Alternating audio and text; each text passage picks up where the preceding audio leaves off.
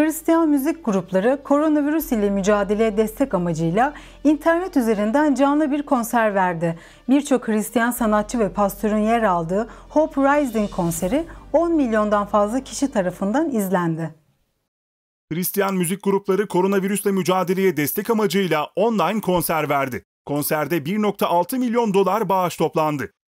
Aralarında oyuncu Kirk Cameron, oyuncu Candice Cameron Burr, Episkopos T.D. Jakes, din adamı Franklin Graham ve diğer birçok Hristiyan sanatçı ve pastörün yer aldığı Hope Rising konseri 10 milyonu aşkın kişi tarafından izlendi. Konserin organizatörü Ryan Higgins, konser kapsamında toplanan tüm bağışların koronavirüs salgını sırasında İtalya ve New York sakinlerine yardım eden Samaritan Purse Derneği'ne yönlendirildiğini açıkladı.